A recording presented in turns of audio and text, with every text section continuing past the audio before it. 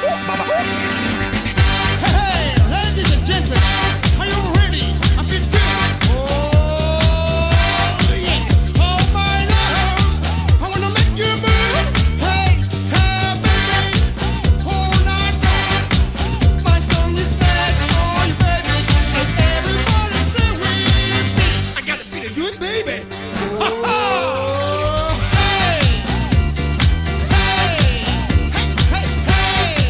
¿Cómo le va? Tengan todos ustedes muy buenas noches. Bienvenidos a una nueva edición de Semanario TV. Antes de empezar con el destacado de la semana, me parece importante remarcar el aumento de la pobreza que hubo en los últimos números que dio el INDEC, cerca del 59% de pobreza, un 8 y pico por ciento del aumento de la, de la indigencia, un 66% en la pobreza infantil, pero el dato relevante es el aumento, la franja de aumento que hubo entre el segundo semestre del 2023 y el primer semestre del 2024, en la gestión de mi ley, donde se supone que ya terminó esa denominada luna de miel que tiene todo político cuando empieza. Es la mayor franja de aumento en tan poco tiempo que equivale a un 11% aproximadamente. Muy bien, ahora sí pasamos al destacado de la semana y tiene que ver con lo que pasó en Córdoba, los incendios que hubo en Córdoba. Una Cristina Fernández de Kirchner que se vuelve a subir al escenario frente a ese acontecimiento, diciendo básicamente, es un poco más largo eh, en la red de X el posteo que hace, pero dice, estaría bueno que Córdoba adecuara su normativa provincial en materia de la ley provincial para el uso del suelo de, ese territorio eh, que se quemó. A lo que le contesta, vamos a la siguiente placa, la ministra de Ambiente de la provincia, Victoria Flores, diciendo, territorio incendiado en Córdoba no puede cambiar el uso del suelo por ley provincial y nacional, una ley que ya se había votado en el 2010. Eh, Pero parece muy paradójico que Cristina Fernández de Kirchner se posesione, sobre todo en Córdoba, donde los resultados electorales no le fue muy bien eh, en las últimas elecciones. Y dato mata relato. Fíjate lo que pasaba allá por el año 2022 con los incendios de la hermana provincia de Corriente con el gobernador Valdés, Gustavo Valdés, en la Nación. Desde hace rato hemos pedido ayuda a la, Nación, rechazo lo que dijo eh, Cabandier, que en ese momento era el ministro de Ambiente de su momento. Esperaron muchísimo tiempo para que la Nación acudiera en ayuda a la provincia de Córdoba. Ah, de corriente, perdón. Muy bien, dicho esto, le paso a comentar que para hoy vamos a estar hablando en el segundo bloque un poco de economía, un poco de esto que decía al principio, que tiene que ver con la pobreza, con el cepo. Llega diciembre, hay un ambiente, un contexto social complicado, tanto para la nación en función del ajuste que está llevando y para la provincia de Córdoba. ¿Qué va a pasar? ¿Qué puede pasar con la economía de acá al futuro. Y en el primer bloque ya me dirijo a saludarlo, vamos a estar hablando con un integrante de la oposición del ERCEP, el doctor Facundo Cortés Olmedo. Hablando de que básicamente sirve para algo el ERCEP teniendo en cuenta que hoy aparece como una especie de cribanías de lujo, todo lo que manda el Ejecutivo lo terminan aprobando, aumento de agua, aumento de tarifa, etcétera. Ya lo paso a saludar. Facundo, ¿cómo estamos? Gracias por estar. ¿Qué tal, Cristian? ¿Cómo estás? Gracias por venir. Gracias a ustedes, gracias a ustedes. Lo decía un poco en la introducción. Aumentos que se vienen, un ERCEP que aparece como una especie de cribanía de lujo, haciendo analogía con lo que era la vieja legislatura, que el gobernador mandaba una ley y la terminaban aprobando, se vienen nuevos aumentos, pero quiero iniciar con, con algo que me parece que del otro lado Doña Rosa se está preguntando. ¿Para qué sirve el ERCEP? Bueno, mira, eh, el ERCEP hagamos un poquito de historia rápidamente. Es un organismo que se creó allá por el año 2000 en la primera gestión del gobernador de la Sota y tenía que ver con un organismo que tenía una función esencial dentro de todas las que tiene, que es la de controlar y regular los servicios públicos.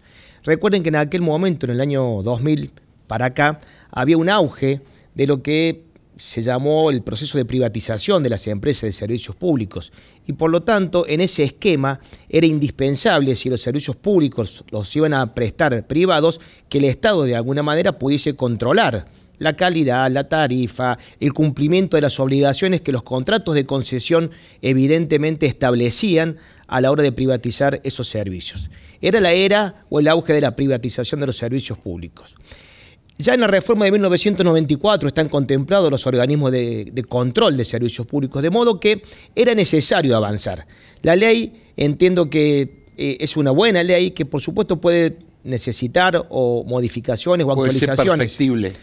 Perfectamente, exactamente puede ser perfectible la ley, pero es una buena ley. El organismo, a diferencia de otras provincias, es un organismo que tiene competencia múltiple, regula y controla todos los servicios públicos provinciales. No vas a encontrar en nuestro país otro organismo que regule y controle todos los servicios públicos provinciales. Aisladamente, en algunas provincias tenés eh, organismos de control del servicio de energía, en otros del servicio de agua, en otros del servicio de transporte. A nivel nacional también está dividido el control y la regulación. En Córdoba está todo unificado en el ARCEP. Y me parece que eso ha sido una buena decisión. Ahora bien, la realidad y después de 20 años, 24 años, digamos, desde aquel año 2000, no, de alguna manera nos enseña que posiblemente haya que hacer algunos, algunas modificaciones y que haya que repensarlo de nuevo en este nuevo escenario que tienen los servicios públicos en la provincia de Córdoba. Primero, porque muchos de los servicios públicos ya no los prestan privados. Eh, ejemplo paradigmático, Camino de las Sierras. Camino de la Sierra, que tiene a cargo eh, los corredores. es una sociedad mixta, digamos, pero básicamente hoy, manejado por el hoy gobierno. directamente es una sociedad del Estado. Sí. ¿Estamos de acuerdo? El Estado es, es la que conduce, la que dirige y la que de alguna manera tiene la, decisión de la empresa Camino de la Sierra. En su momento era una empresa privada, ahora es una empresa eh, pública. EPEC es una empresa del Estado. El, servicio de agua potable es un servicio que todavía es privado y las empresas prestatarias del servicio de transporte interurbano, que son distintos privados que se hacen cargo de los corredores. Habrás visto que el transporte interurbano es un proceso o es un servicio que está en un proceso realmente crítico eh, de colapso total y están trabajando en una redefinición, digamos, del esquema. No sabemos en, qué va a terminar, pero básicamente trata de eh, brindarnos una, un, formato distinto donde haya una mirada metropolitana que permita de alguna forma interactuar entre el transporte interurbano y el urbano. Pero eso es un tema puntual y concreto. Digo, volviendo a lo que te decía recién, que hay que repensar tal vez eh, el, el ERCEP con con más o menos facultades, pero básicamente cumpliendo un rol, desde mi perspectiva, no solamente técnico, exclusivamente técnico, como lo hace ahora, sino también con una mirada política social o político social. Digo esto porque los integrantes del ERCEP son que son por, parte del oficialismo son que representantes de la política. Exactamente. Son representantes de la política. por el, por los partidos en tu caso y por el poder ejecutivo por parte del oficialismo. Exactamente. Ahora bien, todo lo que pase por ahí lo termina aumentando básicamente Facundo. Bueno, eh, digo...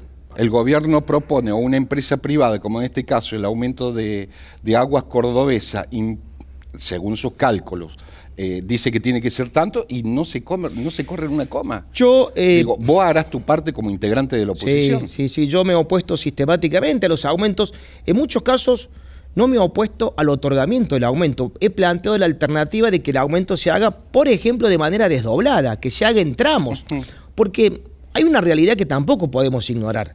Si la empresa que presta un servicio público que es indispensable para la sociedad no tiene los recursos para prestarlo, bueno, evidentemente estamos en un problema porque el círculo termina recayendo y el perjuicio sobre los propios usuarios. Ahora, ese aumento que pide, que supuestamente es para obra, etcétera, en el caso de Aguas Cordobesas, por ejemplo, ¿Se traducen todas las obras necesarias? ¿Alguien chequea que esas obras necesarias después se hagan en función del aumento que pidieron? Nosotros en el ERCEP tenemos eh, una gerencia de agua, una gerencia de energía, una gerencia de transporte eh, y una gerencia de control, digamos, o de conflictos entre usuarios y, prestatarias. Se controla la realización de las obras que se le asigna y que se le impone a Aguas Cordobesas que realice. Pero en realidad ahí hay otro, digamos, análisis que hay que hacer. El contrato de concesión establecía y establece que las obras de infraestructura que tiene que hacer, o mejor dicho, que necesita el servicio para ampliarlo o para mejorarlo, van por cuenta del poder concedente no por parte de Aguas Cordobesas. van por cuenta del poder concedente. En el caso de Aguas Cordobesa, Cordobesa sí. tiene la concesión de la administración de la prestación del servicio, del suministro del servicio.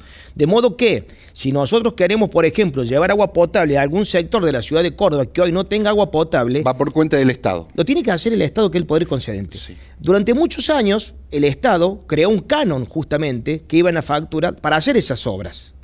Y la verdad que después el propio Estado, como no quería erogar dinero para hacer esas obras, autorizó para que con ese canon, que era para poner los medidores del uso del agua, se hicieran las obras que tenía que hacer el Estado. Entonces fue reasignando. La parte privada. Exactamente. Fue Sí. reasignando los ¿Y eso se recursos. cumple? Bueno, hoy por hoy ese canon, digamos, dejó de existir, digamos, la factura, estamos de acuerdo, y el proceso de inversión en la ampliación de la red cloacal ha quedado, de la red de agua potable ha quedado en manos, lógicamente, del Estado, que de acuerdo a la disponibilidad de recursos va avanzando o no. Entonces, eh, pero el ARCEP cumple con su facultad de control de la realización de las obras. En esto te quiero ser eh, muy claro. Y los recursos humanos que tiene el ARCEP en materia de servicios públicos, te diría que eh, deben ser de los, de los más capacitados que tiene la provincia de Córdoba y no sé si están a la altura del país, tanto en energía como en agua, como en transporte. Digo, son recursos humanos que se han ido preparando durante muchísimo tiempo.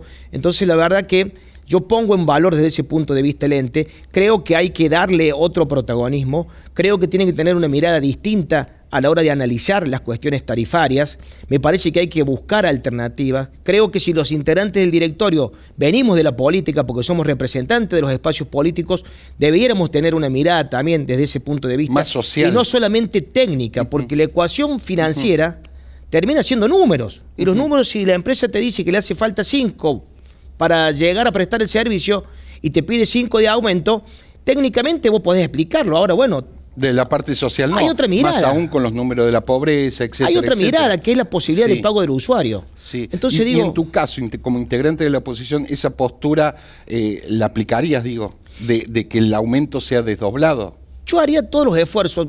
Yo te voy a ser honesto, no sé si, si, la- si el, el actual presidente quizás los hace y, y- y no me los comenta o no, no los dice en la reunión de directorio, pero yo haría todos los esfuerzos para que esos ajustes en las tarifas públicas, que en un contexto de inflación son indispensables, son indispensables, sean de alguna manera amortiguados de la mejor forma para los usuarios. Porque si no, eh, si no hay usuarios, no hay servicios públicos. Y si no, Y hay, si no hay no hay capacidad de pago, tampoco. Entonces, Facundo, ¿las audiencias públicas sirven para algo independientemente de que no sean vinculantes y que Doña Rosa del otro lado esté en sus quehaceres domésticos, ocupado en sus cuestiones personales, etcétera? Mira, las audiencias públicas Que por otro lado son virtuales, donde la gente Sí, yo puede ir a expresar. Desde que, em, em, bueno, desde, desde la pandemia para acá siguen siendo virtuales. En un momento, yo inci- bueno, desde hace un tiempo a la fecha, desde que salimos de la pandemia, estoy planteando de que la hagamos de, una, con una modalidad mixta, o sea que la virtualidad, que me parece que es una muy buena herramienta, la sigamos utilizando, pero que también demos la oportunidad para que puedan participar de manera presencial aquellos que quieran hacerlo. Así que bueno, espero que, Independientemente de que sea presencial o Sí. mixta, como vos decís, sí. ¿serviría de algo? Yo creo que serviría en la medida que nosotros mismos, los usuarios, quienes participamos de estas definiciones, quienes estamos en estos espacios, los pongamos en valor. Mira, hace poco todavía hacemos audiencias públicas en materia de aumentos de las, eh, de las tarifas del servicio de agua y energía de las cooperativas en el interior de la provincia, de las cooperativas mayoristas Bueno, en de agua. Alta han tenido un problema ahí también, ¿no? Bueno, Con un en, las- en cooperativas mayoristas Sí. todavía estamos haciendo audiencias públicas. En materia de, de peaje hubo una audiencia pública hace poco también. Y te voy a ser honesto, eh, son enriquecedoras. Cuando participan aquellos que están involucrados con la problemática, cuando participan instituciones intermedias que tienen conocimiento y que tienen recursos humanos preparados para poder aportar en la discusión, son espacios enriquecedores. De hecho, en las últimas audiencias públicas, insisto, desde el directorio todos hemos quedado de alguna manera satisfechos porque hemos recibido información que por ahí no la recibís por parte de la prestataria. Claro. Miradas de distintos organismos, participantes, usuarios. Que es importante y es son relevante, importantes, ¿no? son importantes. y Basta además, ver, hay que llamar más a la gente que hay vaya que ponerle a en valor. participar y pueda Y hay un dato que no es menor. La audiencia pública se tiene que volcar en la resolución del ARCEP. De modo que no queda archivada. Está ahí. Independientemente de lo que decía el directorio. Se me termina el tiempo, Facundo, no va a ser la última vez que, que sigamos hablando. Muchísimas gracias. por Gracias a vos. Cristian, un gusto. Vamos al segundo bloque. Cuando volvamos vamos a estar hablando con el economista Daniel Semiraz sobre todo este panorama económico provincial y nacional. Ya volvemos. ¿Querés beneficios y canjear tus puntos por increíbles premios? Asociate sin cargo a Club Personal. Nueva línea telefónica de contención, escucha y orientación profesional en salud mental y adicciones. Si vos o un ser querido necesita atención, comunicate al 0800 888 5555. Este servicio presentado por la Municipalidad de Córdoba junto al gobierno de la provincia se encuentra disponible las 24 horas, los 7 días de la semana y es de carácter confidencial. Se enmarca en el nuevo Observatorio Local para el Estudio y la Prevención del Suicidio en la ciudad, una iniciativa articulada entre diversas áreas del municipio y sectores de la salud pública, con el objetivo de generar datos oportunos y fiables sobre esta problemática. Trabajamos de forma integral para llevar contención a los vecinos y vecinas de la ciudad. Córdoba Capital.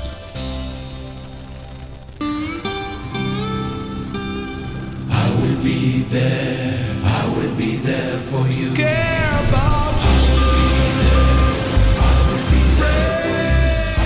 Sancor Seguros estamos junto a vos en todo momento, acompañándote. Sancor Seguros, estamos.